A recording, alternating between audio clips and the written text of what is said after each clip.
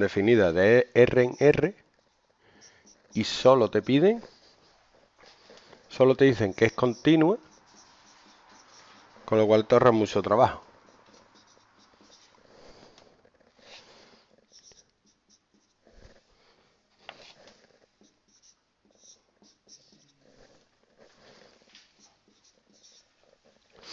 Te dicen que es continua, que calcules K. Para que sea continua, el límite.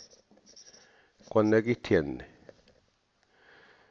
a 0 por la izquierda de f de X, tiene que ser igual al límite cuando X tiende a 0 por la derecha de f de X y tiene que ser igual a f de 0.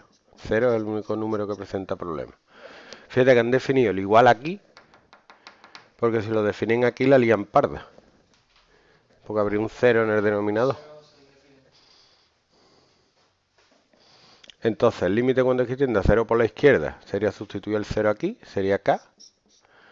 Por la derecha sería sustituir el 0 aquí, sería elevado a 0, 1. ¡Uh! Este tiene diversión.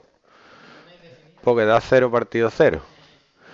Aquí que hacer un pedazo del ópita.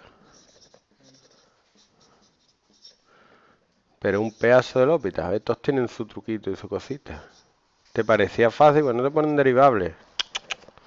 Entonces hacemos L'Hopital, que va a haber que hacerlo dos veces, preveo yo. La derivada de elevado a x cuadrado sería elevado a x cuadrado por la derivada de x cuadrado, que es 2x, la derivada de 1 es 0 y la derivada de esto es 2x. Uy, mira qué chulo. Oh, y da 1. Me encanta.